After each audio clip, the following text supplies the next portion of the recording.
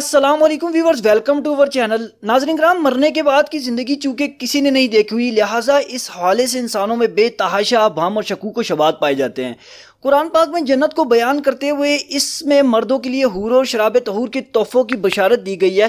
اسی طرح عورتوں کو رنگ برنگے لباس، محلات اور زیورات کی خوشخبری بھی سنائی گئی ہے۔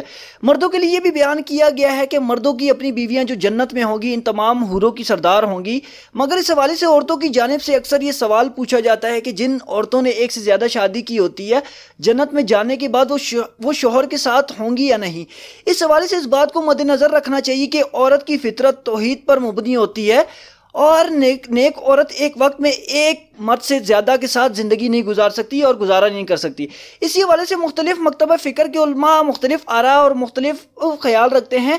کچھ علماء کا یہ خیال ہے کہ جنت میں رہنے والی اپنی پسندیدہ زندگی میں ہوں گی، اسی لیے اپنے جیون ساتھی کا انتخاب وہ خود کریں گی، کیونکہ علماء کرام کے اس گروے کے مطابق اگر بیوی شور کے ساتھ زندگی میں مر جائے تو اس کا رشتہ اس شور سے ختم ہو جاتا ہے۔ جبکہ دوسرے مکتبہ فکر کے مطابق عورت کا انتقال جس مرد کے گھر یا نکاح میں ہوا عورت اس کے ساتھ ہی جنت میں ہوگی۔ اگر وہ بھی جنت میں ہوا تو۔ ناظرین کرام اس حوالے سے ایک روایت کے مطابق ام سلمہ رضی اللہ تعالیٰ نے آپ صلی اللہ علیہ وسلم سے پوچھا کہ اے اللہ کے رسول صلی اللہ علیہ وسلم ہم میں سے بعض عورتیں دنیا میں دو تین چار شوہروں سے یکے بعد دیگرے نکاح کرتی ہیں اور مرنے کے بعد جنت میں داخل ہو جاتی ہیں۔ وہ سارے مرد بھی جنت میں چلے جاتے ہیں تو ان میں سے کون سا اس کا شوہر ہوگا؟ اس کے جواب میں آپ صلی اللہ علیہ وسلم نے فرمایا، اے ام سلمہ، وہ عورت ان مردوں میں کسی ایک کا انتخاب کرے گی اور وہ اچھے اخلاق والے مرد کو پسند کرے گی۔ اللہ تعالیٰ سے گزارش کرے گی، اے میرے رب، یہ مرد دنیا میں میرے ساتھ سب سے زیادہ اخلاق سے پیش آیا، لہٰذا اسے میرے ساتھ بیا دے۔ ناظر کرام اس کے علاوہ قرآن پاک میں بھی ارشاد خداوندی ہے کہ جس چیز کو تمہارا جی چاہے اور جو کچھ تم مانگو سب تمہارے لیے بہترین ہے۔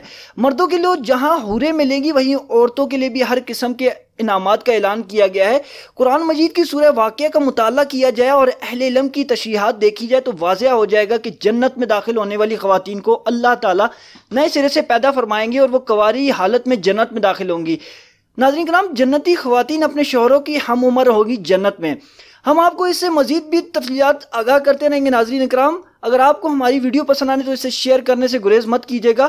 اور ہماری ویڈیو پسند آنے کی صورت میں ہمارے چینل کو سبسکرائب کریں اور ساتھ بیل آئیکن کے بٹن کو لازمی پریس کریں تاکہ ہمارے آنے والی ویڈیو سے آپ اپ ٹو ڈیٹ رہ سکیں۔